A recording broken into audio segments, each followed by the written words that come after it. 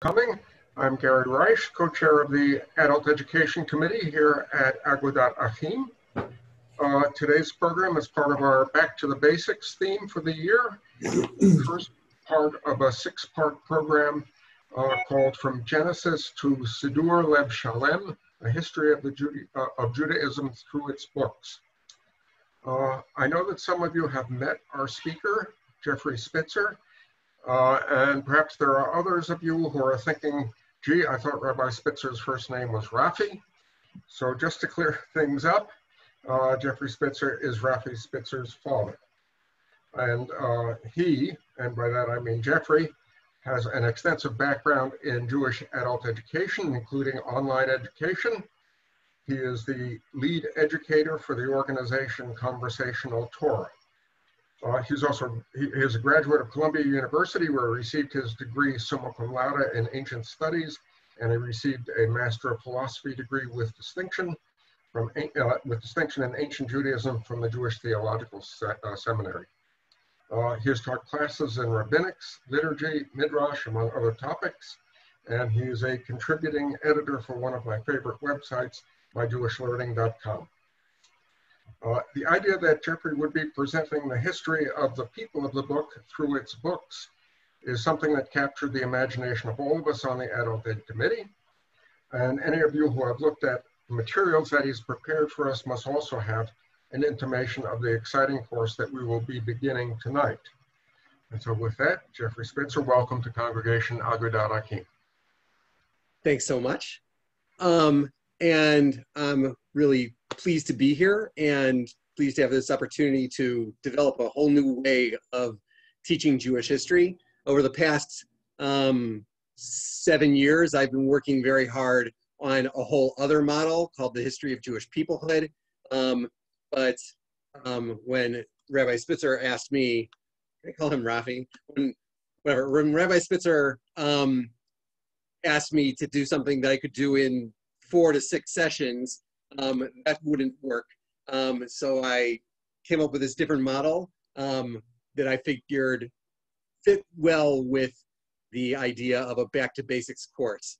Um, and hopefully um, some of what you learn here in this, in this part of the, the course will support your learning um, as you do the rest of the uh, learning in the back to basics series. So I'm sharing my screen now.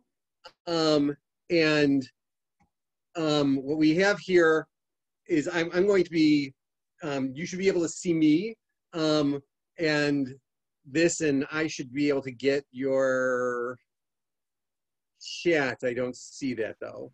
Um, maybe I'll, okay. I don't, I don't see where I'm supposed to, oh, maybe I can do it this way.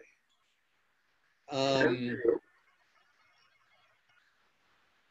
yeah, it's not working that way. But okay, I'm not going to worry about it. Um, if there if there are questions, um, I'll pause at regular at regular intervals, um, and you can get a sense of what we're going to what we're going to be doing and how we're going to be doing it. If you have um, the materials that I sent out that, that are, were published on Sefaria, um, we're gonna I'm gonna show all of those materials, although I might show just short shortened parts of that in the um, on the on the screen. Um, but it's worthwhile um, next time if you want to have it. You can take notes on it directly. Um, so the question I want to start with is how do you approach Jewish history? What do you do when you want to teach um, Jewish history? And I already mentioned um, that I've developed this whole other approach called the history of Jewish peoplehood, where I only focus on three questions of Jewish history, and I try and look at those three questions as they emerge throughout Jewish um, um, history. Um, and I think you can um, use other models like traditional retellings, like how Mishnah Avot says, oh, Moses received the Torah at Sinai, and he passed it on to Joshua, and Joshua passed it on to the elders, and the elders um, to the prophets, and you can say, oh, okay, here's our structure. Or you could just talk about the history in terms of who was ruling the Jews at different times, an entirely political history. Um, there are a lot of different ways in which you can do Jewish history. You can come up with Zionist historiography, which really focuses exclusively on how do Jews um, make their way back to the land, basically. Um, and when did they leave? And most of the time that they're outside the land, which is the most, which is the bulk of Jewish history, they ignore. Um, but here we're going to try and focus on great books and writing and publishing and how did that um, reflect what was going on in the period of Ju- in, in, in each period of Judaism, as well as have an impact on it. Um, I want to show a graphic that I think is really kind of fun. Um, and it's especially fun for me because um, I used to have it in my classroom, and then we used to put it in Rabbi Spitzer's in, in his bedroom, and he was a kid. Um, so I'm looking at it and thinking about his bedroom from when he was a little kid. Um, but it, the reason why he wanted it was never clear to me. I actually never really liked the poster. Um, the poster has uh, Sinai up here at the top, and you can understand Jewish history through the places and the and the documents that were produced um, across time. So here are the Tanaim, who were the people who produced the Mishnah, and then here's the Talmud, and the, the, Talmud from uh, Eretz Israel, and here's the Talmud from Bavel. Um, why they put Bavel in the west as opposed to the east, I don't know. Um, but um, and then you've got this sea of halacha, and it's like this one seamless mush of stuff, and it doesn't really tell you much about the nature of either Jewish literature um, or Jewish history. What I did like about it was over here in the corner when I was teaching in Boston, um, over here in the corner it says Boston because Boston was on the map. And I wanted my students to recognize that they were also part of this ongoing um, process of seeing Torah. This is a different way of looking at the history of Jewish books. Um, and it's something that you can see on my website. Um, and this tiny URL is a quick way of getting to it. Um, but it's a genre map of, of Jewish literature and specifically of rabbinic literature. You can see here's the Bible, or here's the Torah, and here's the prophets. And there are books that share the structure of the Bible, like the Midrashei Agadah and commentaries um, on those on the Bible are obviously organized around them. There's other Midrashei Halacha that are also organized um, around it. Here's the Mishnah, and which is a book that we'll be talking about in the next class and all the books that follow its structure. Um, and then you can look at um, the the way the Talmud is set up and how the Rif follows that, or the Tur and how the Shulchan Aruch follows that. You can see the kinds of relationships, the structures. This is, I think, a little bit more useful than the Sea of Halacha, but it really doesn't give you much in terms of history. Um, and I did create a tool that I think is really useful for you. Um, and I strongly encourage you to see it. The link is on the Sefaria sheet. Um, again, you go to conversationaltorah.com um, and tools slash JH timeline slash JH timeline. It's there. Um, and I can send out the link otherwise um, as well. Um, but it's a really useful tool. Here I made a little video of how you can use it. Um, and you can scroll back and forth.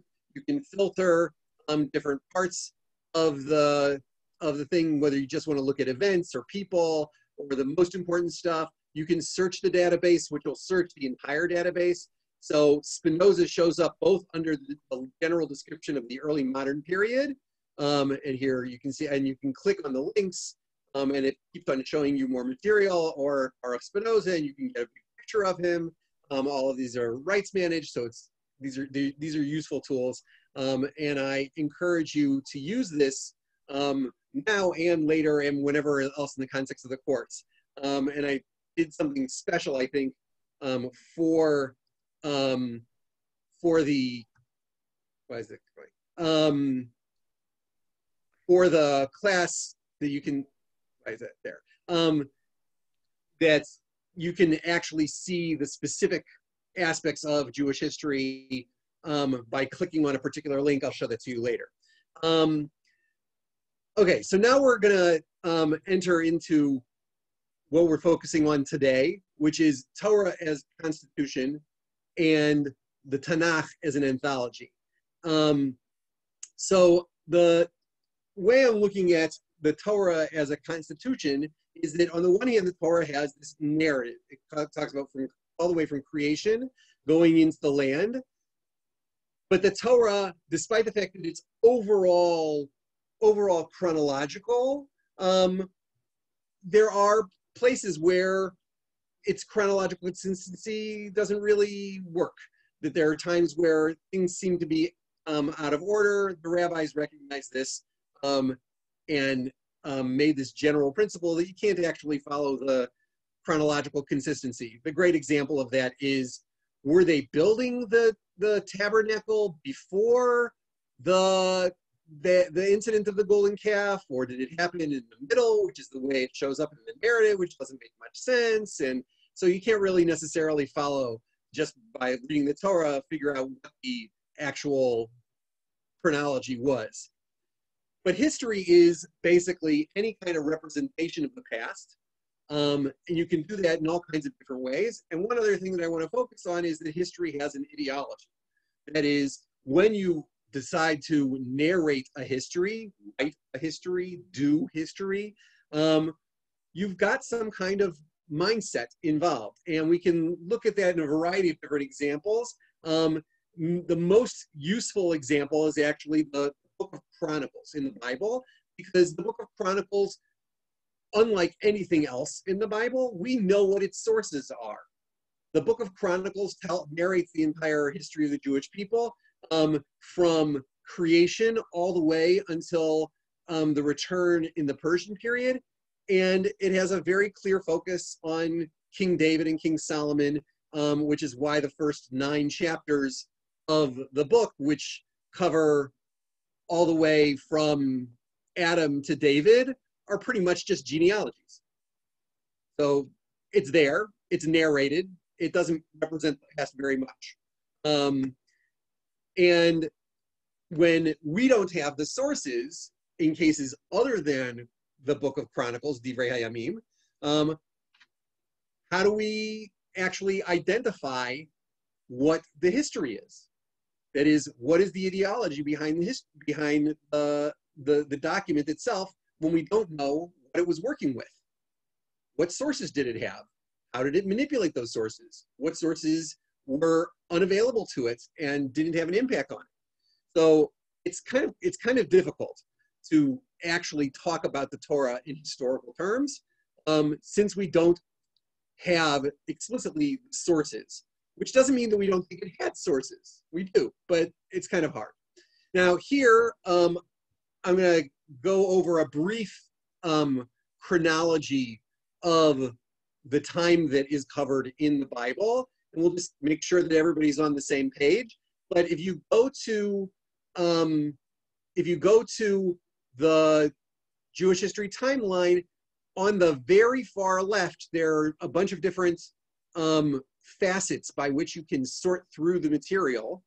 First, you should click Reset All Filters, and then you can click From Genesis, which is short for From Genesis to Siddur Lev Shalem, that is this course. Um, and it will give you the list of, of items that I'm going to show, that we're going to be talking about tonight. Um, and as we progress, I'll add more things from the 280 items that are on the timeline um, into that part of the the, the window. So you can just have a record of those, which you can display in timeline mode, or you can click on a table and it will show you. So our story starts with creation. Um, I don't really have much to say about creation. Um, I don't know that it counts as part of history. But then we go from creation, and eventually, 10 generations later, we talk about Abraham and his movement to Canaan and the stories of the patriarchs and the matriarchs, followed by the descent to Egypt and the exodus from Egypt.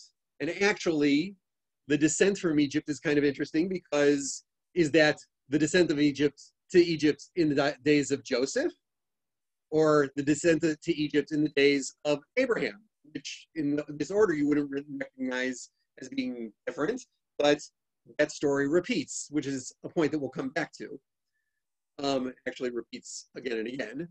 Then there's the entrance to the land, and um, once the the Jewish people enters into the into the land of Israel, you have this kind of tribal leadership with different tribes um, dividing up the land um, and having leadership probably by the eldest of different tribes who become the princes of those different tribes.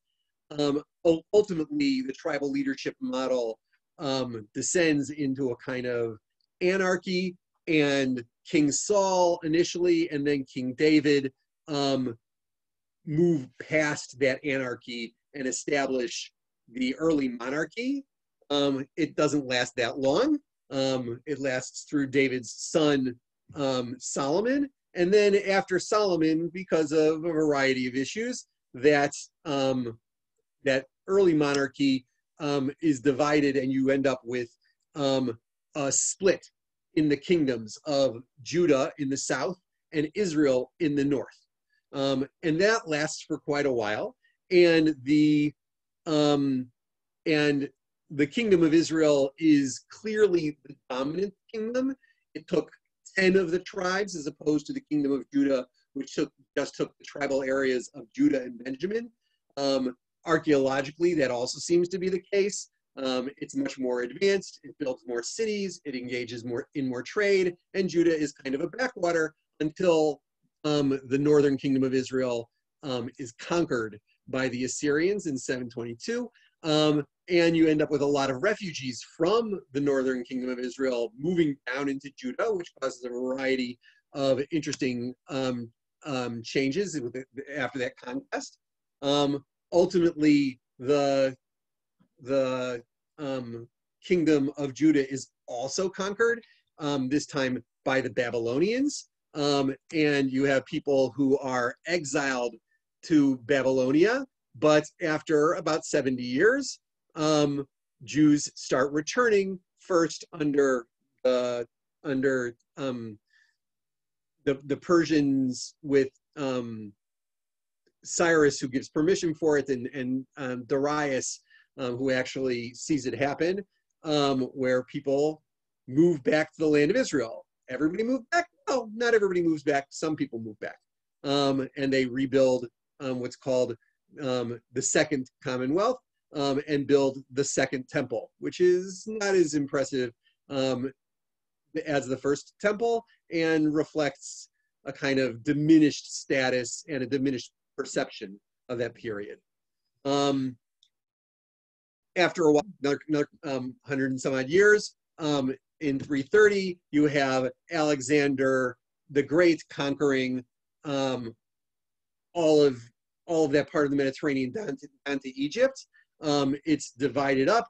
During this period, the people who were the leaders of the Jews were priests, descendants of Aaron, um, and they continued to be under the rule of uh, Alexander's uh, successor generals. First, um, the Ptolemies, who were based in Egypt, then the Seleucids, um, who were based in Syria. Um, eventually, because the Seleucids were having um, difficulty on their eastern border, the uh, Jews in uh, in in um, Judea were able to throw off their rule, um, which was the beginning of the Hasmonean period. And it's in this period, the Hasmonean period, when the final books of the Bible are um, included in the Bible, like the book of Daniel. And that's a brief narrative that covers the chronology, not of the Bible itself, because um, the Bible itself doesn't narrate the Hasmonean period or the Hellenistic period, but the books that are made in, that make it into the Bible come from this period. Um, okay. Um, oh, what happened? Sorry, I went one too far. Um, so when we look at the, the Torah, um, and now we're going to actually get, did I skip one? I think so. Um, no. Um, when we look at the Torah, we have a traditional perspective of the Torah being given at Sinai. And that is a difficult view for some people to hold on to and a difficult view for some people to um, to reject. Um, and it's a it's it's one that really is is a compelling um, myth, by which I mean the a story in which we see ourselves and see our culture and see our history. Um, that Torah is somehow divine in its origin.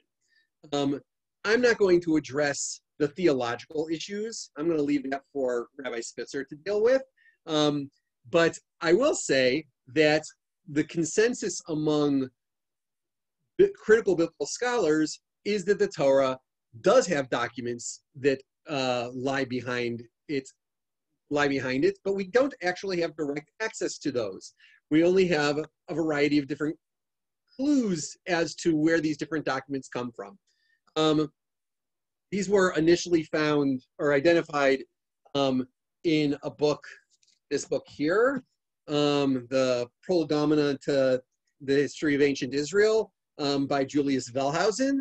Um, and he described um, four main documents, which he imagines were documents that were then edited together in different ways. Um, and um, the J source, which represents, um, which commonly uses the name of God that they would transliterate with a J, that is um, what we consider the Tetragrammaton, the four the four letter name of God, um, which they call which in scholarly circles they call the Yahwistic source. Um, the E source, which was produced largely in the north a little bit later, um, and um, is called the E for Elohist. The D source, which is uh, Deuteronomy, and the P source, which is all of this priestly material that gets um, redacted into the earlier material. Um, and then there are um, later scholars, um, including my teacher Israel Knohl, um, who talks about H, which was a holiness code, which was a supplement to P, um, which wasn't its own document ever, but was kind of added in. And they also refer to R, the redactor. And there are lots of different ways in which people understand the relationships between these different sources um, in the Bible. There isn't any consensus about that. Um, so some people make no claims about the relationship between D versus P, but some have D before P, and some have P before D, um, or even D before J. Others focus on the redactor, and others talk about two different editions of D or a holiness supplement to P. And you end up with a lot of different possible models. Um, and there isn't even agreement about which parts of which of, of the Bible, uh, of the Torah, um, necessarily are parts of the different um, documents. So it's it's it's messy. Most scholars believe that there is that there is plenty of evidence for this kind of documents, uh, documentary approach, which is called the documentary hypothesis. Um, but again, there isn't consensus about every aspect about uh, how you divide up the Torah this way, or what the order is, or, or where they where they emerged and where they were edited together. Um, there are even people who um, assume that there was never a one of these like strange complications of how things were put together, but rather um, you have um, an initial source and a source that was added on top of that, and another source that was added on top of that, and another and another material was added on top of that. That's called the supplementary model, um, which some great people, including my um, father-in-law, um, Rabbi Spitzer's grandfather, um, is a strong advocate for. Um, that grandfather, my father-in-law, is Roy Tannenbaum, and he was the one who taught me to think of the Torah as constitution. Um, and I'm going to talk about what that means. I don't actually agree with my father-in-law on the supplementary model, um, but I do believe that he he has a particular focus on how we look at the Torah um, as a political document, and I think it's really very important um, to give him credit because I wouldn't have thought of calling it Torah as constitution without him. Um, and he's written um, massively on this topic. Excuse Um, me? Yeah. Yeah, sorry for interrupting. I was just thinking that it's possible that you just used a term supplementary model without defining it. Ah, so that was there's there's one source, and then something was added on top of it, and something was added on top of that, and something was added on top of that. As As opposed, opposed to, to, as opposed to you've got these two different sources and you merge them together somehow, and then there's this other source over here, and you merge that in. It's that his idea, the supplementary model, is that at each point, the document that preceded it was seen as authoritative. But then they added on to that authoritative text, um, that constitution, with additional material, amendments um, to make the constitutional um, metaphor more clear. Um, adding on new material, adding on a new preface, adding on a new story. Um, but each time they had a complete work before them. And it's not that there's certain things that were only narrated, narrated in J and certain things that were only narrated in E. Um, and then they got put together, but rather the stories are plumped on top of each other. That's what he meant by a supplementary model. And again, I my focus tonight is not about the different models of biblical criticism, but what I think is the the the bigger underlying principle, and that is this idea that the Torah itself is a document which reflects political conflict and political development and evolution. Um, and we can look at the stories without too much concern about about their sources and recognize that some of these things are happening because we're we're trying to work out politics in the context of the Torah. Um, and this brings me to the, the text that I think is actually, I mean, it's based on a passage from the Midrash from Breshit Rabbah, um, but the Ramban expresses it beautifully. The Ramban, um, a medieval um, Spanish scholar, makes his way to the land of Israel um, and writes a variety of different um, books, including a commentary on the Torah. Um, says, Lo nafal davar mikol me'ora. There wasn't a single incident that befell the father that didn't befall the children.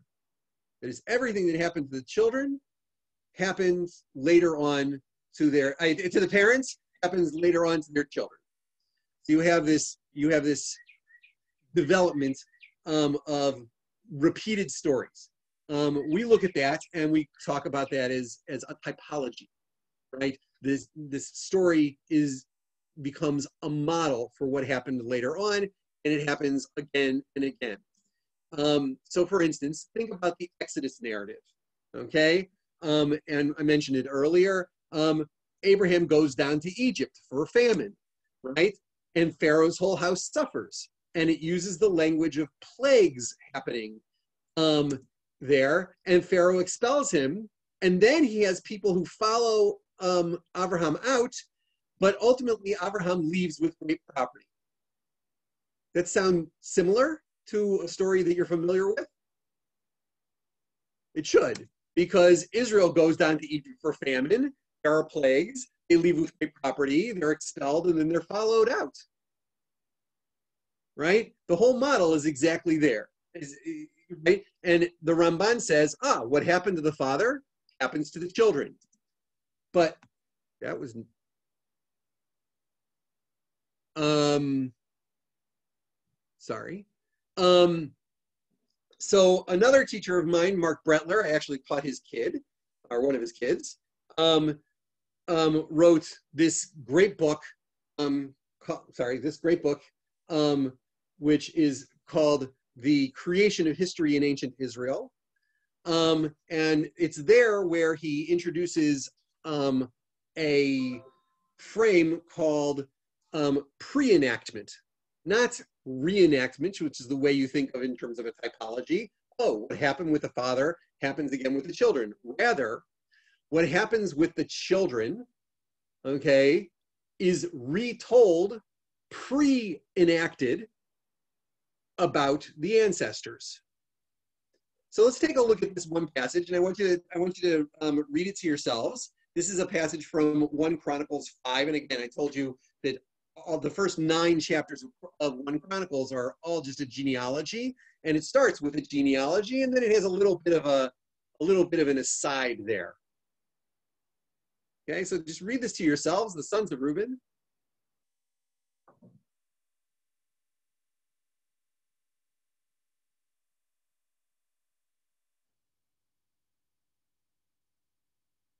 Okay, so what's going on in this story? What's going on in this passage? And here, if you if you have an idea, just unmute yourself and, and share it.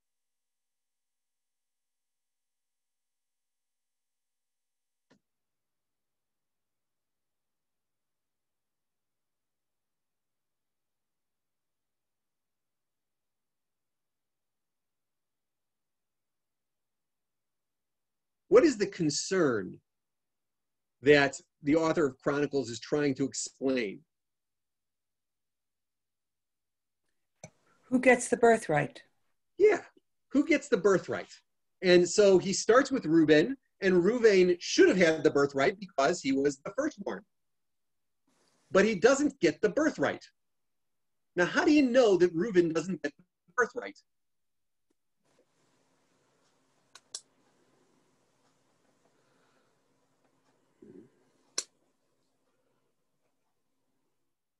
I'll tell you straight off, it never says that he doesn't get the birthright. He's shamed, he's cursed, but um, in and in Genesis 35, it talks about how he slept with the concubine Bilhah. And in Genesis 49, it says that he defiled his father's bed. But it doesn't say that he was ever disinherited. It doesn't ever say that he was not the didn't get the birthright. How do you know he didn't get the birthright?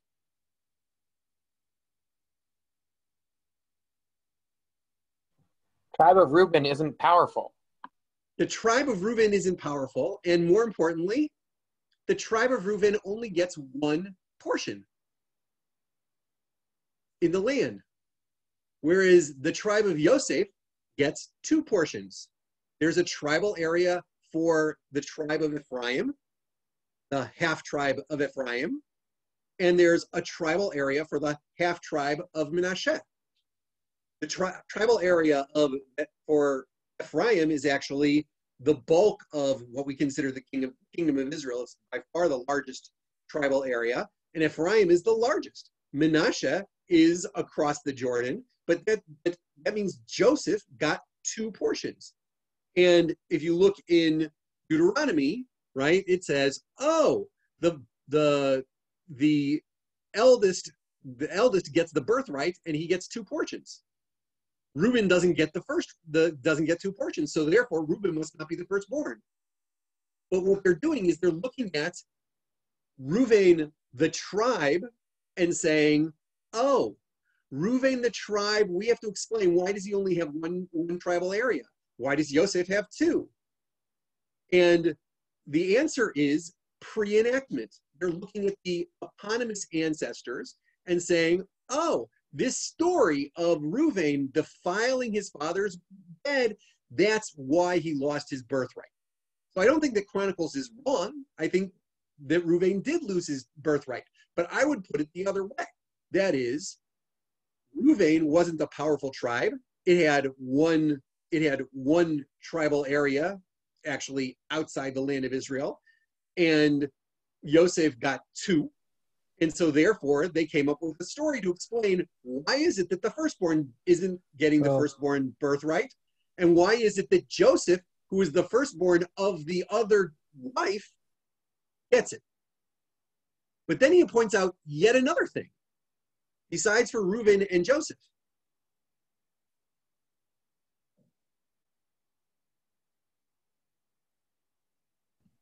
He talks about Judah and how Judah becomes more powerful than his brothers, even though Yosef, even though the, the two tribes of, uh, for Yosef have more land. Right?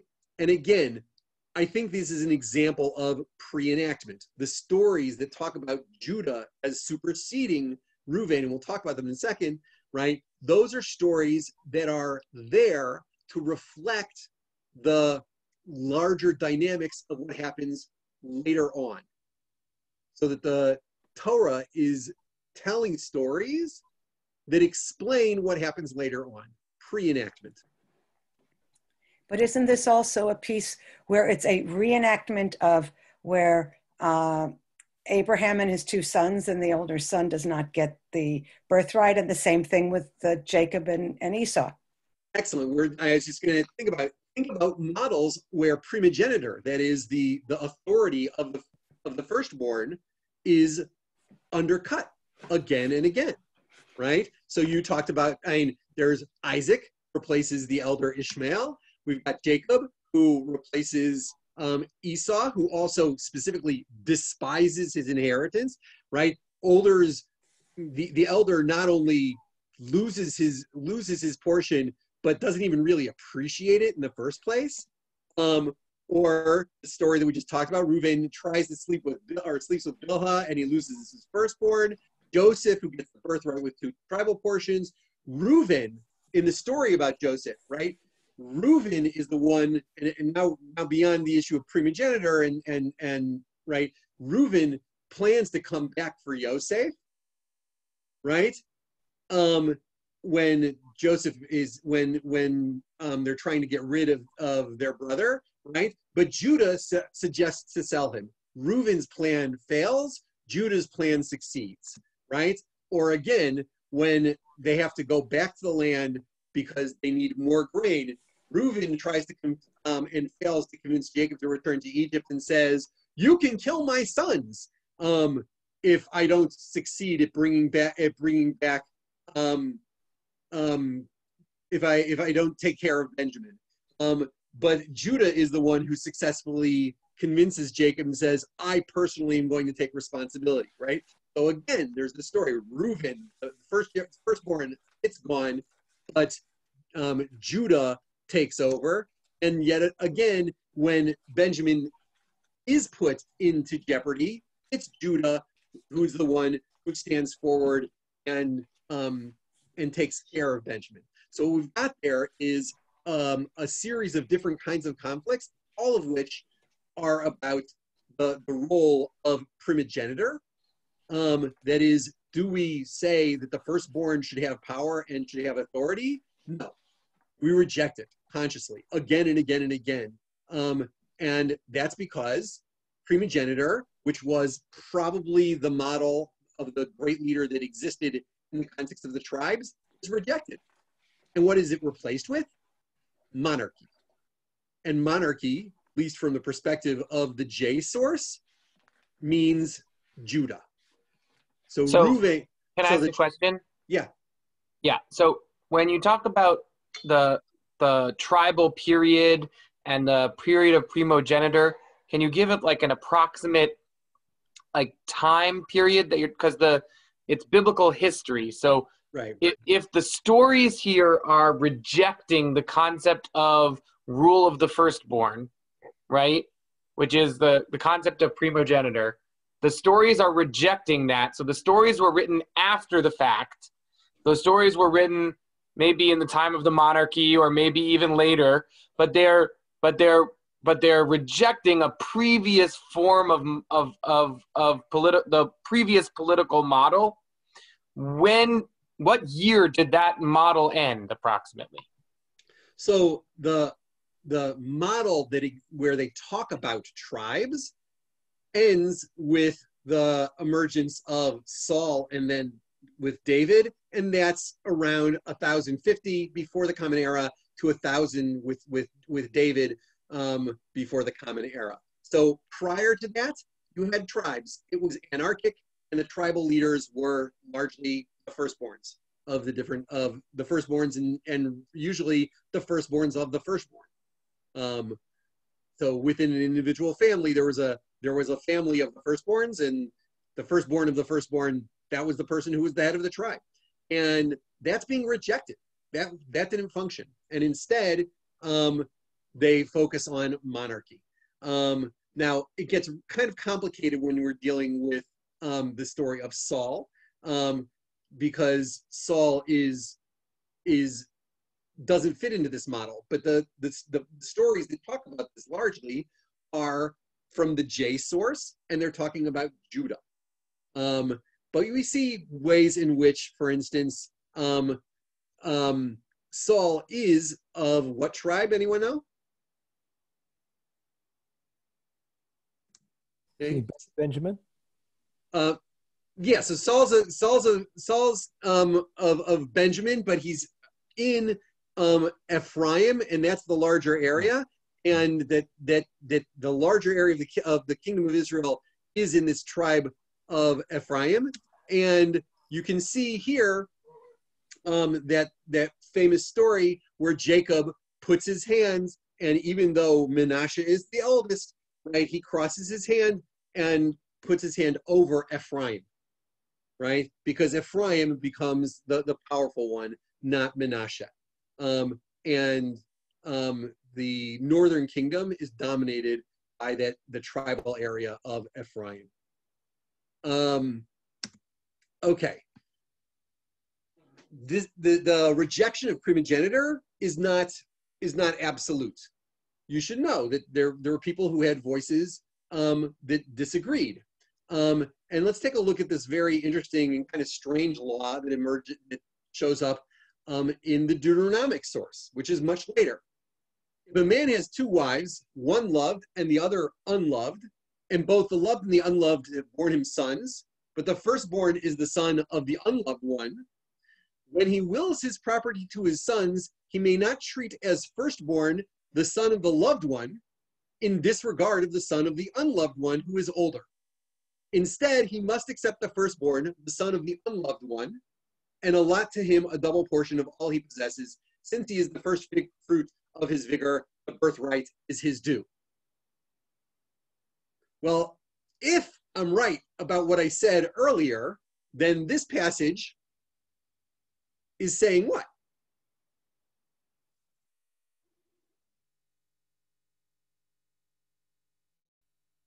What does it say about Ruvain and Yosef?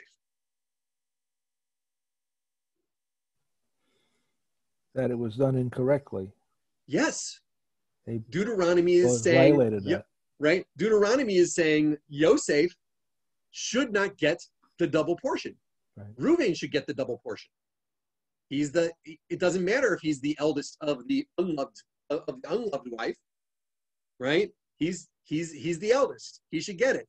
So I don't know that Deuteronomy is here making a claim about um, returning to primogeniture. In fact, I think he's not. I think it's actually talking about property law on the ground. But looking at the stories that already exist in front of him and, and what he knows about the way it, it played out, he's going to reject this. He's going to reject that claim because he doesn't want people to think, well, practically you should um, decide the law however you want. And it's a contrary voice. Um, but again, I, I'm making my guess at that. It could be, it could be that indeed it is a political claim. I just don't know how we're supposed to how we're supposed to play that out um, in the time when Deuteronomy was written. So I assume that it's actually talking about the actual distrib- uh, distribution of property inside families um, and doesn't want people to make the, take the political stories as if they are a legal authority for your own family. If you reject the firstborn, who then becomes um, empowered? Well, the Torah gives us one model, um, and that is that the if the firstborns are the people who have um, political and ritual authority, um, we can replace them with Levites. And that's a whole other area. We've got this two, uh, we've got the ritual authority and we've got the political authority. And in some ways, firstborns were seen as having authority in both areas. When the king takes the political authority, the Levites become the people who are authoritative in the ritual area. So now I want to take a look at a particular text case Um, and this is um, something that I lifted from thetorah.com. That is T H E T O R A H.com, an unbelievably useful um, website. And they looked at a variety of different possible ways of reading the Korach story um, and looking at it from a, a documentary perspective. So I've taken what they call what's the P source um, and put it in red flush left, and the blue is the J source, and it's and it's blue and flush right. Um, anything that's redact the redactor is in black, or things that look like they're later um, are um, are in black. give us the approximate dates of the red source and the blue source? Yeah, so the so the P is very complicated. The J source is probably probably emerges around 850 CE, and P um, went through probably a couple of different um, um, editions, and different people debate whether it's actually written in the Babylonian exile, that is around sometime um, in the sixth century BCE, or written a little bit before the Babylonian exile, or after. And my guess is it's both before and after, and probably not during the exile um, um, in Babylonia. So if you take a look at the story, right, and you can actually read the, the story as divided um, consistently, right? Korach, the son of Itzar, son of Kahat, took, uh, uh, son of Kahat, son of Levi, took two, 250 Israelites, chieftains of the community, and chosen in chosen in the assembly men of repute, and they gathered against Moses and Aaron. And they said, "You've gone too far. All the people, all the people are holy. What are you doing, raising yourself up above God's congregation?" And then you have this story of this test with the incense, um, and then later on you've got a different one. It's not. It the, the first complaint is there shouldn't be people who are above the congregation. It's kind of a um, an egalitarian model. Everybody's equal. But then they say, oh no, it's really about the Levites. You shouldn't make the Aaronites and the descendants of Aaron better than the rest of the Levites. This leads um, my teacher Israel Knohl to read the story as not about two different rebellions. One we're going to look at, we haven't looked at the, the Reuben story first, but there's a rebellion um, against um, against the leadership at all by the 250 Israelites. You got a leader. You got a rebellion um, against uh, by the by the descendants of Ruvain, which is this claim of the Reubenites against perhaps the Levites or whoops or against the Judahites. Sorry. Um, and then you've got this um, rebellion of Levites against the people who put the authority with, with Aaron. You read the J source, right? You have Datan, Abiram, uh, the sons of Eliab, etc., got up before Moses, and Moses and Moses sent for Datan and Abiram. There's kind of a gap there. It's not exactly sure why, I mean, whether that's the best way of of dividing it. And they say, we're not going to come. You didn't bring us to a land of milk and honey. It's a totally different kind of complaint. Right? It's nothing about who's in charge. It's that you didn't do what you're supposed to do. Right? It's a different, it's a different kind of rebellion and a different kind of complaint. Um, now this this line 15, um, I think it's J. I kept it in red because that's what Torah.com did, but I'm pretty sure that it's J, right? And Moses is incredibly um, aggrieved about this, and he says, pay no regard to their oblation. That doesn't really make too much sense because they haven't made any kind of offering, but it's not clear. But then he makes a claim, I've not taken the ass of any one of them, nor have I wronged any of them. And then you see the, complaint about Korach and this story about the the story about the fire pan and all of that. That's P.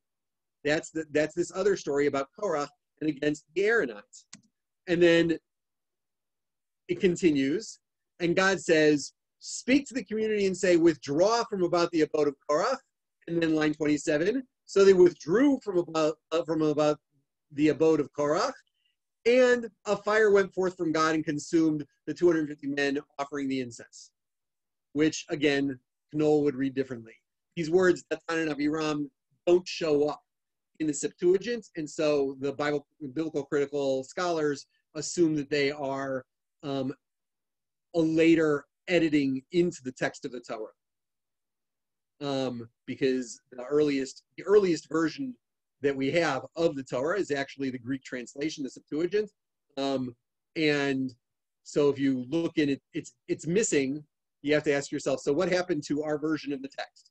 On the other hand, you've got the J version, and again, you've got the story about Datan and Aviram, and um, they go down to they get swallowed up by the land, by the earth. So you've got different punishments, different complaints, different people who are acting.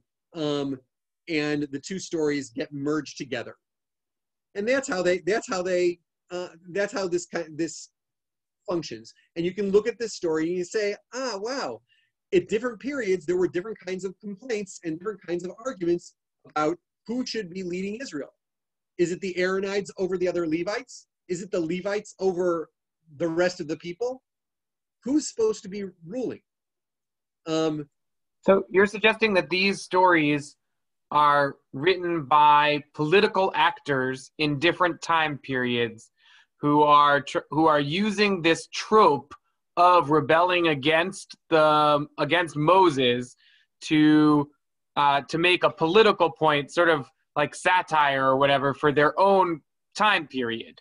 Well, so I- I they're, put they're it- setting the, the the characters in the past, but it's really about what's happening in their present. Yes.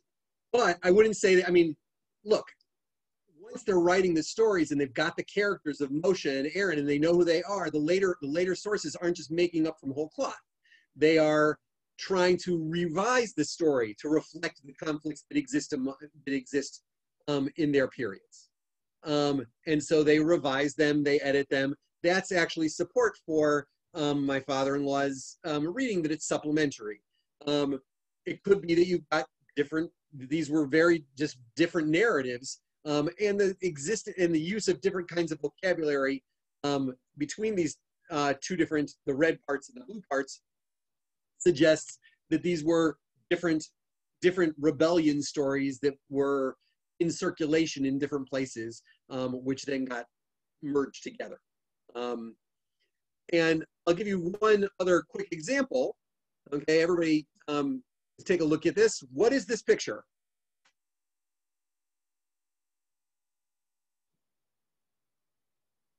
It's the golden calf. It's the golden calf. Now take a look at the picture again and tell me what what what's strange about this picture if it's a picture of the golden calf.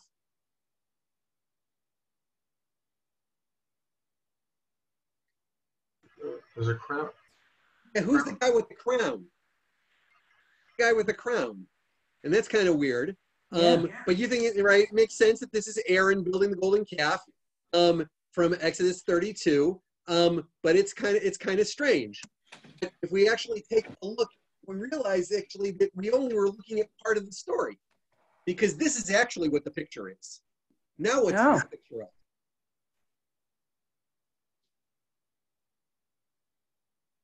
Okay, so this one you may not know, um, but in one king in one Kings 13 and 14, they talk about King Jeroboam, who set up the temples in Beit El and in Dan, um, which are Beit El is just to the north of the tribal area or the, the kingdom of Judah, and at the very south end of the northern kingdom of Israel, and Dan is the very north end. So he built a temple at the very south end and the very north end to protect his his his, his very large kingdom compared to Judah, which is a very small kingdom, um, and put a golden calf in each one. Now, why he did it, I'm not going to talk about because I think it's a it's a whole it's a whole other um, issue, and it's and there are some great books that I'll mention later um, that I think are, are really worthwhile to look at. Um, but he did this two calves, and he said, "Ela Elohecha Yisrael." These are the gods who took you out, uh, Asher Ha'elucha Mieretz Mitzrayim, who, plural, took you out of the land of Egypt. That is exactly the same phrase that Aaron says when he's only working with one calf, and it should have been, right, you know, Ze Elohecha, Yisrael, Asher Helcha, Meretz Mitzrayim. It should have been in singular, but he doesn't speak in, in singular, he speaks in plural. Why? Pre-enactment. The story of Jeroboam, uh, King Yarovam, and his golden calves becomes the story of Aaron and the golden calf. And to make that very clear, they use the same language, including the plural about the golden calves um, in that version.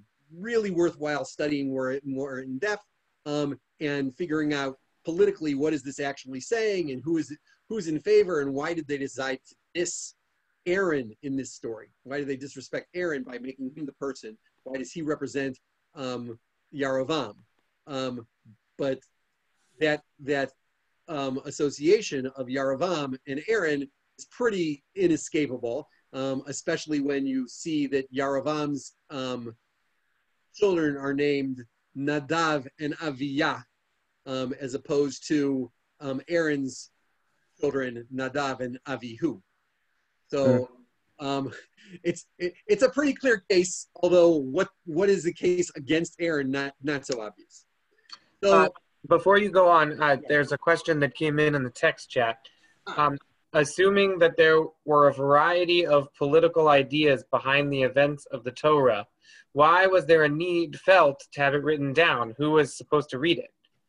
Ah, so, um, hmm, I thought I had that word, that one up there, but I, I guess I must have skipped that page. I knew it skipped the page.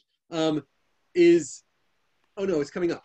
Um, the word for Bible is not Tanakh. That's our, our word that we use for it. But the word for Bible is actually mikra. It means that which is read, or better, that which is recited. And um, the Bible is a text that was recited. People had regular festivals on full moons, um, and this was cult literature. Um, my father-in-law believes that it was cult literature so much so that that people, you know, heard these stories again and again and again. And that's why he imagined a supplementary model because how could you get rid of things that everybody knows already? So there must have been an authoritative version and you kept on adding on to it. And adding on is a different thing than getting rid of stuff or, or changing it around. Um, so um, I think that that's that that people wrote these kinds of documents precisely because they saw it as constitutional. Because by making, by having the authoritative version of the story of the Jews as they lived in the desert or as they lived before they got down to Egypt, this is these are the stories that that it's it's the political narrative of the day. Um, and did everybody read it that way? I'm not sure. Um, I think that they there was a. I, I think you you make a big mistake when you when you underestimate the capability of of people in the ancient world to believe stuff. Um, I think they, they believed all kinds of stuff, and I think that um, they heard a story and they said, "Oh, now I get it." Um, right? How could and and then Jeroboam becomes this incredible um, bad guy who all of the other kings kings of the north are bad because they're like Jeroboam. And and how could he have chosen a golden calf after all? Doesn't he know that Aaron did this? That that, that that's that's our sin that caused us that caused us so much sorrows in the in, in the desert. And even though that story is um, is written about Jeroboam, you know, a couple a hundred years later, the golden calf story is is is the, is the dominant story. And people are thinking about it just like everybody looked at that part of the image and said, oh, it's the golden calf because that's what we recognize. And then everybody else is seen as, is being dismissed because of that. Um, so here is basically what we've suggested that the Torah is a composite document. Um, and there are narratives and laws, both of which are seen um, as authoritative, authoritative and they reflect the different power interests of different groups including firstborns and Levites and descendants of Aaron and kings and and and tribal leaders and um, king-like Aaronite high priests that have em- emerged in the in the Persian period. You've got all of those different groups who are um, expressing their authority um, in the context of the Torah. Now, I want to make a specific note about reading the Torah since you're all reading the Torah um, on a regular uh, basis and living a life of Torah, right? I think it's really important to be able to make this kind of political reading. And I think it's, um, um, I think that not everything in the Torah is subject to this kind of political reading, and you're not going to, and you're not going to be able to figure it out anyway because we just don't know enough of the history, um, or we don't. There isn't enough agreement to be able to figure out how to do that political reading. So don't go overboard. The crucial part is the political readings of the Torah don't provide much of an opportunity for your own personal growth or your or communal guidance. And for that, I encourage you to look to um, your rabbi um, for that insight and for the guidance. And that's what your rabbi's for. And um, that's a theme that we'll talk about where how he got where he is um, um, through the other books that we're going to be studying over the course of this um, over the course of this class. Here are a bunch of books that I think are really wonderful. And if you're if if I piqued your interest, it's worthwhile reading Who Wrote the Bible by Richard Elliott Friedman, which was written a long time ago already, but is still a really good book on this topic. Um, the Divine Symphony Symphony by Israel Knohl. Um, again, one of my favorites. This uh, this book here. Um, um, creation of um, history in ancient Israel, which I referred to, and another book by another teacher of mine, um, Avigdor Shinan, I never studied with Yair Zakovitch, called From Gods to God, widely available um, and really quite good. And again, that website, Torah.com. So now I've got less than half an hour to do with deal with um, anthology. It's an easier topic though. The Torah is a constitutional kind of document, a document that's really um, that's that's powerful, and people look at it. Hang- Hang on a second. Uh, before you jump into the next topic, Yeah. It's possible that there might be people who have questions about the previous topic. If people want to put them up on on the chat or, or unmute and ask, I can't see everybody, so I can't call on anyone.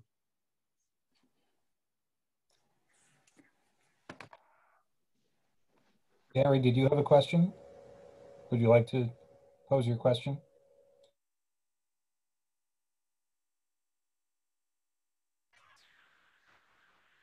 Josh, were you speaking to me?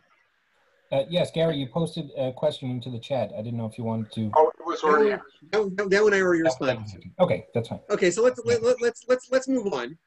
Um, and the Tanakh is a diverse book, and think of you know think of the um, the image of the um, Norton Anthology, right? When you when you look at the Norton Anthology, there are so many different um, kinds of documents in that book. Um, there, sorry, that's the wrong page. I want to go to this one there are lots of genres. Um, we have um, narratives and we have um, um, stories and we have farces and um, like the story of Bilaam or the uh, and the donkey or the book of Esther. Um, we've got genealogies, we've got poetry, um, we've got travel itineraries, um, we've got short stories like the book of Ruth, um, or the Joseph cycle. We've got poetry like um, Ha- Parshat Ha'azinu, or the Song at the Sea, or the um, or the Book of Psalms. We've got books that present themselves as history. We've got books that are just kind of wisdom books like Proverbs or um, Ecclesiastes. We've got satires um, like the story of Eglon in Judges. Um, I think that there's lots of different genres, like you found in your Norton anthology when you were taking a you know a course on American literature, and all of that is in the Bible. So is it a book or is it books, right? And we call the word Bible, and it's from the it's from the Latin biblia, um, which is the book uh, or a book. Um, but the the same word biblia, biblia um, in Greek is books, plural. Um, so we have to ask ourselves, you know, what makes it a book? Is it a single author? Well, clearly not. Is it a single, all right, but we've got this book and we call it a book, which is kind of ironic since we, um, we actually didn't actually have books back then. Um, or, right, we, in fact, we never had a single scroll of this. We have this book. Um, but um, scrolls were the Jewish way of, of doing it. Codices come out from from Christians, but it doesn't have any of these things. It doesn't have a single plot or a single um, point of view. So Bible, reading it as a book, is not a descriptive term. It's a prescriptive term. That is, you're supposed to take a look at this thing and see it as a book, a book that we should be looking at and thinking of, um, not in terms of a diverse set of books, but a book. That said, and that is a function of the that the rabbis decided to include some stuff in the book and other things were left out. We're going to talk about that next week in terms of what made it in and what didn't make it in. Um, and part of it is about our tradition because we've we've received this and we've been seeing ourselves as um, well largely by Islam, we were called al al kitab, the, the the people of the book. So we think of it as a book. Um, but part of traditionality is actually um, a very interesting thing called pseudepigraphy. That is, we write not in our own name because it has more authority. So for and and the biggest example of this in the Bible as a whole is um, are the the authors that we refer to or scholars refer to as second and third Isaiah. That is chapters 40 through the end of the book um, are called second and third Isaiah, two different um, authors who adopt some aspects of the style of Isaiah, but got themselves tacked on because they didn't want to say they were some, doing something new. It was part of their own traditionality to, to submerge their own identity to say we're part of Isaiah. Um, and okay, I'm just going to skip those uh, points. Um, I want to just point out that the Bible itself then creates a lot of contradictions. Um, not just with these different genres, but with different approaches. And we have to look at how these contradictions play out. So if you can, just take out a piece of paper or in your head, um, recite either with a mnemonic or just the, the, the, the, plagues as well as you can in the order, uh, in, their, in their order.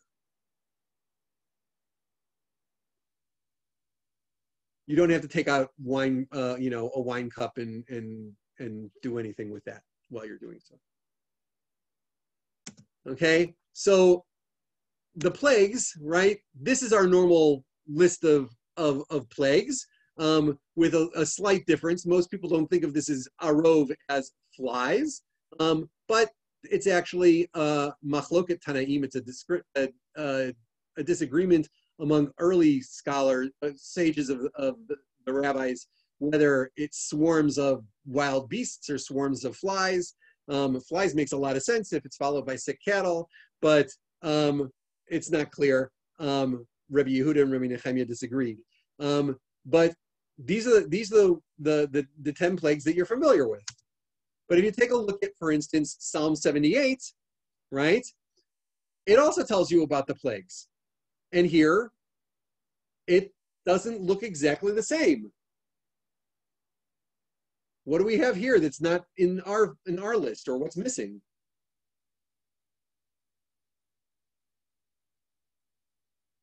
We don't we don't talk about a plague of caterpillars, right? We don't talk about um, a plague of frost.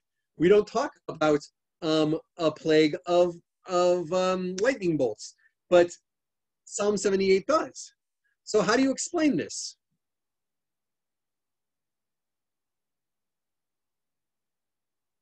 How do you explain that? Well, if you imagine that the plagues are historical, right? You have to ask yourself, well, which one comes first? Which one, right? Psalm 105 has darkness as the first plague. Which set of plagues are do we end up having? Um, and there are a lot of different ways you could deal with this, um, but I want to present a different possibility. One is that in a poetic context, like in the book of Psalms, right? In poetry, the order in which you present something is really powerful. And changing it up, changing it up from a, an expected order would cause confusion, disorientation, kind of like you would experience in the case of plagues. So maybe you could just make a literary uh, uh, explanation, or maybe they're dealing with different sources.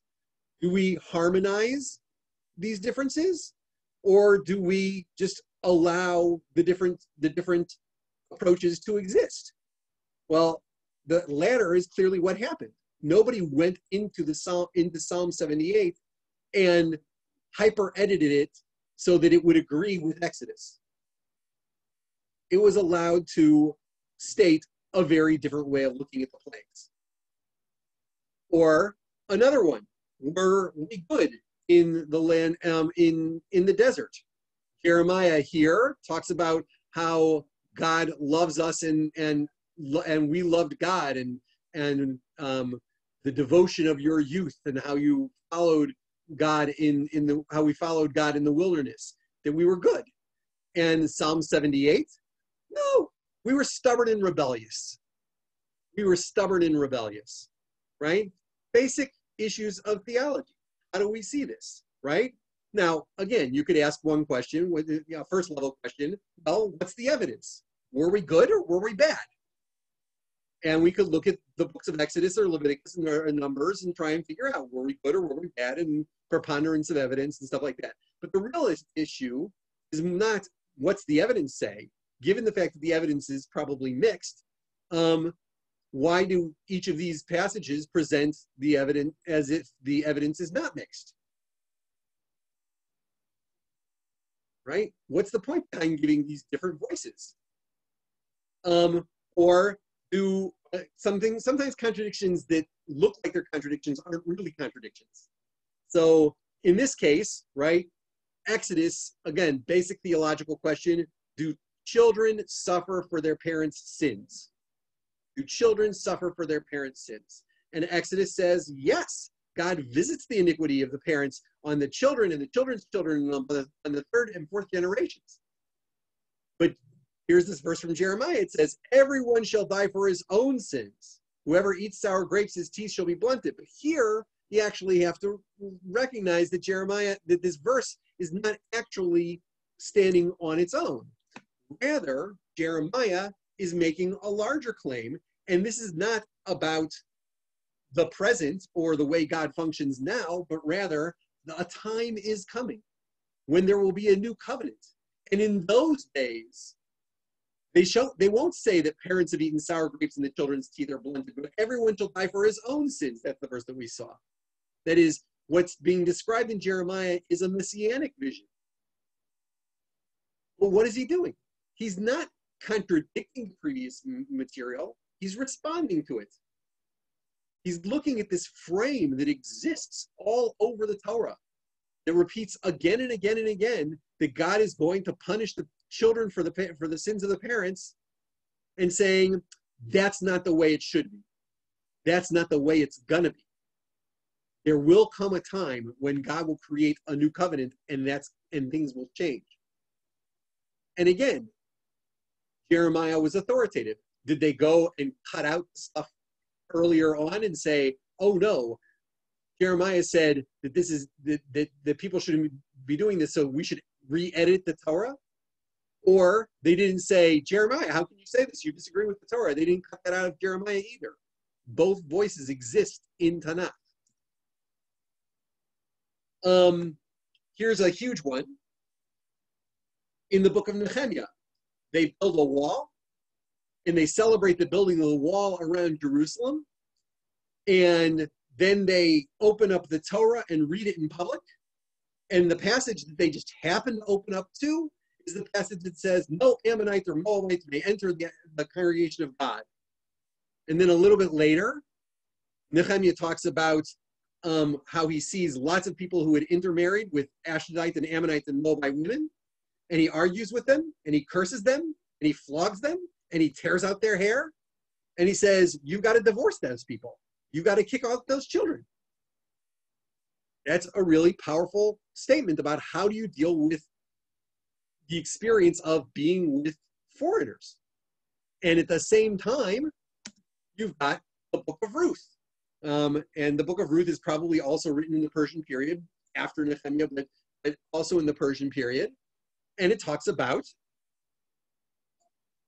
again, kind of like as, as a piece of historical fiction, but it's a story of a leader of Judah who goes and marries a Moabite and um, and all right, who uh, or his children marry Moabites, um, and she comes back to the land of Israel and she marries um, um, this guy Boaz, and she has a child, and from Ruth is born the through the through uh, uh, her her descendants through to David, which is pretty much a, a way of saying, oh look, Ruth, ancestor of David.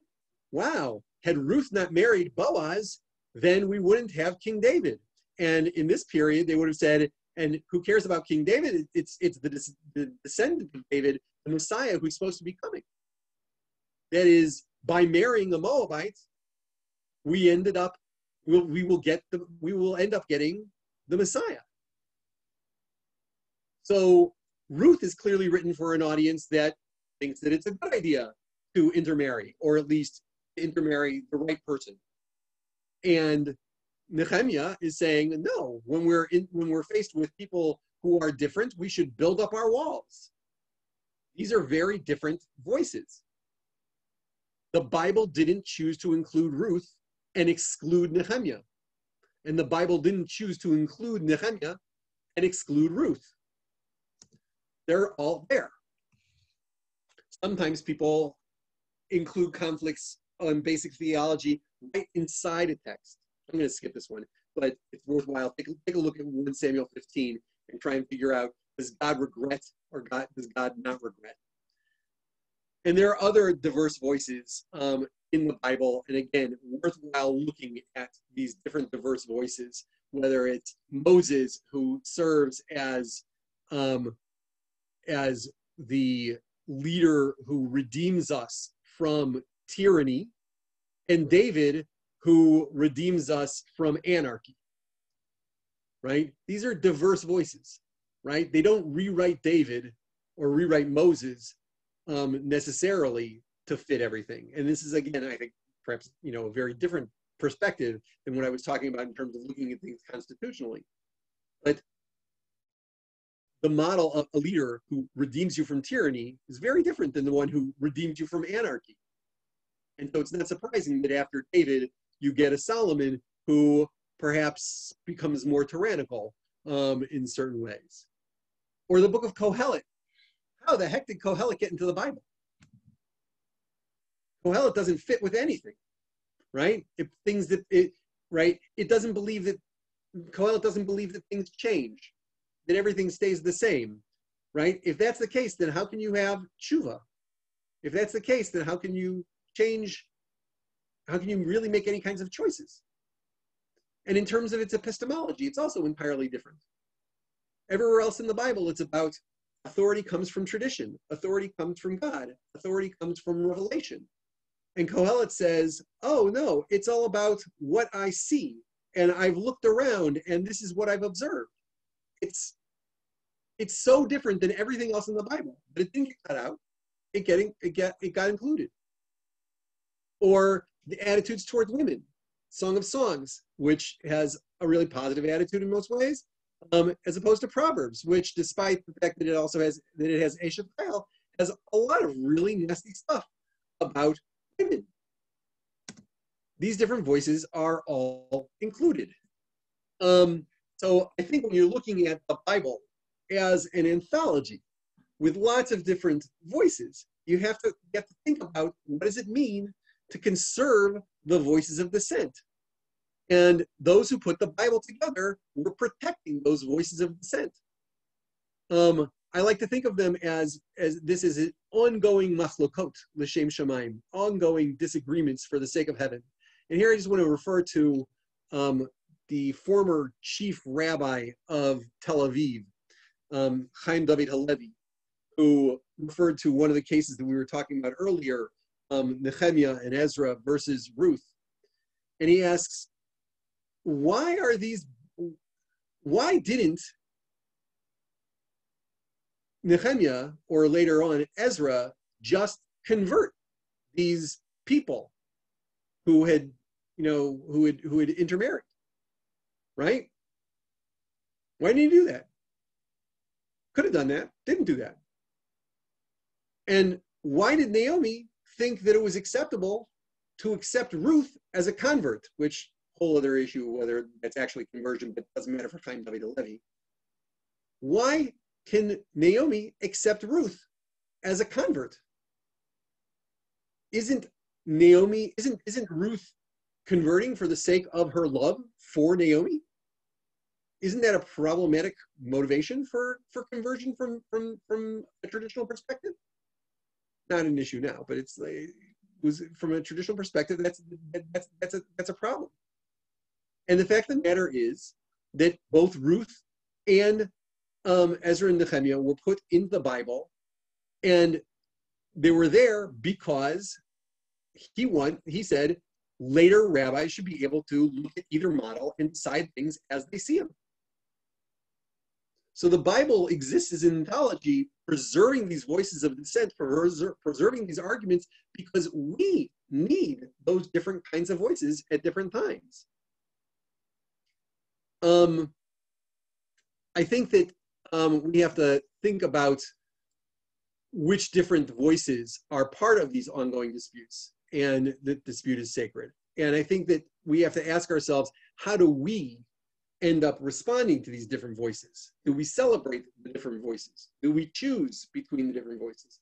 Do we harmonize and pretend that there's no dissent at all? Do we try to have what the rabbis call a listening heart so that we so we gather in all the different voices?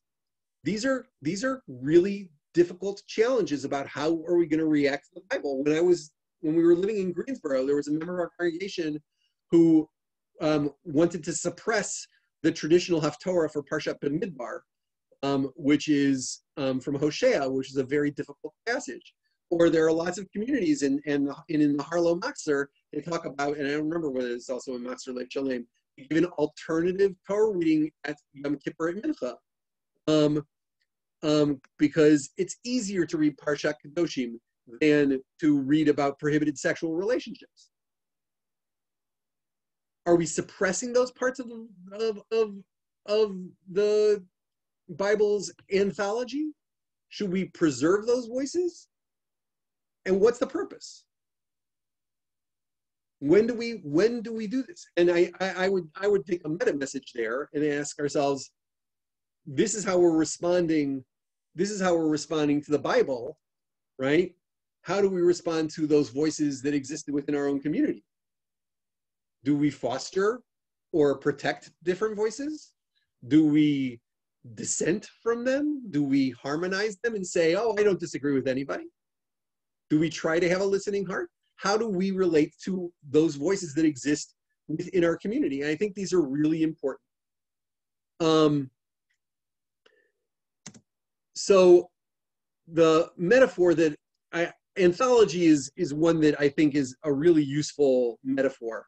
Um, but I want to go back to the title of the book that I mentioned earlier um, by Israel Knohl, The Divine Symphony, um, the Bible's many voices. And um, I think that the that the musical metaphor is really powerful. And I though I like to sing, don't consider myself musically educated at all. Um, but um, I think that there's a lot that we can use and see um, in this idea of Torah as a divine symphony. There are refrains. There are voices that we could think of as discordant, but we might think of as harmonies. There are different motifs that, that run through the Bible. There are sometimes discordant notes. I can't read Kohelet without, without hearing it as a discordant note. Um, there are different kinds of instrumentation, right? The Bible actually refers to different kinds of instrumentation in the book of Psalms, but, but when you hear a passage that's read first as prose and then as poetry, right? That's akin to instrumentation or arrangement. Well, we saw how different different stories can get arranged and rearranged. I think this idea of not just anthology but symphony is one that's really valuable to us. And ultimately, I think we have to ask our questions. I just I tried to make a distinction between Torah is constitutional and Tanakh is symphonic. But I think although much easier to see the ways in which Torah is constitutional, the Torah is also part of that larger symphony. Right? We don't we don't just have the Torah, we have an entire Bible. And the people who canonized our Bible and gave it to us, and the communities and and Jewish sages who produced the literature were willing to create a symphony for us to listen to, which is perhaps why we chant it and to think of it as music. There's this one school um, called Beit Rabban in New York, and they've got a very interesting aspect of their pedagogy. From kindergarten up at Beit Rabban, a student never ever hears the Torah read. Torah is always chanted in whatever context. Um, and I think that if you always think of Torah as a song and you think of it as, uh, it, it changes your attitude towards what this book is.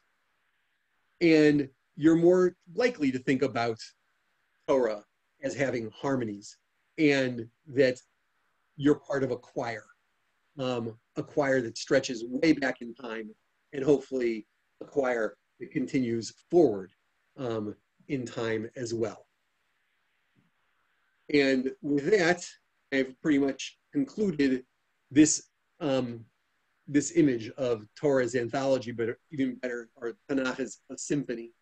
And I think that um, this sets us up well for moving forward into what books didn't make it. And is there a reason why they didn't make it? And what book became the book, which wasn't really a book, but an oral book, um, and how that became second book of Jew of the Jewish canon, and that is the Mishnah.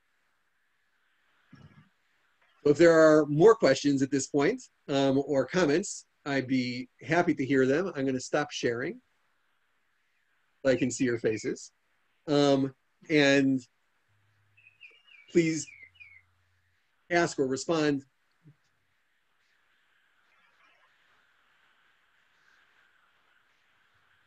Are there any final questions?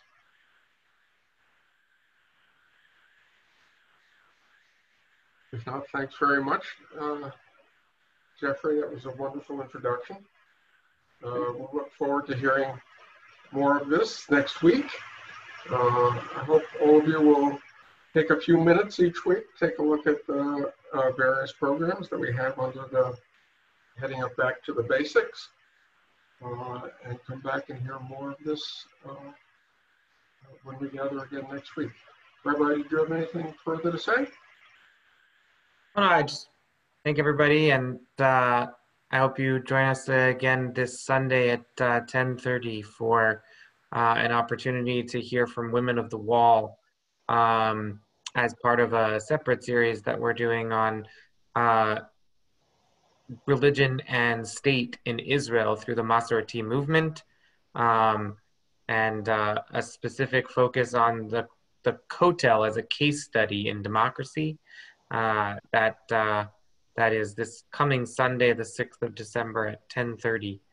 Um, and then uh, next Wednesday night, the second installment of Steve Schmidt's class on giving a Dvar Torah, which if you, uh, if you missed the first class, you can find it uh, on our website uh, under the Back to the Basics tab in the, um, in the uh, on the adult education page.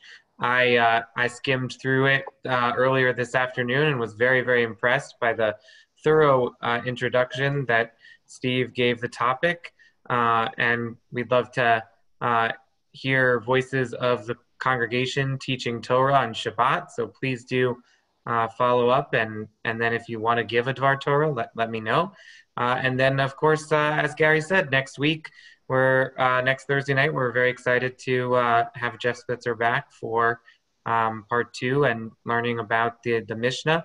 Um, if you do think of questions uh, that you have left lingering from this course, uh, like from this session, uh, feel free to send them to me and I'm happy to forward them to our instructor. Um, uh, uh, yeah, uh, he'd be happy to, uh, to respond, I think. Uh, though my father isn't a rabbi, um, he's, uh, uh, he is a great scholar of Torah and a historian. Uh, my is the rabbi. Yeah, people ask, what do you call the the guy who's married to a rabbi? And the standard answer is lucky. Uh, Thanks again, uh, Jeff Spitzer. Uh, And to all of you, have a good evening. I think the program is over for the evening. Okay. Well, take care. And um, the materials are up there on Sefaria, and you're more than welcome to take a look at them or to go back and, and look for notes or make notes on them. And again, really worthwhile to take a look at that story of the, of, of the golden calf. Kind of fun. Um, have a wonderful evening. Look forward to seeing you Yashikov, next thank you very much. Take care. Thanks very much. I now have a full brain.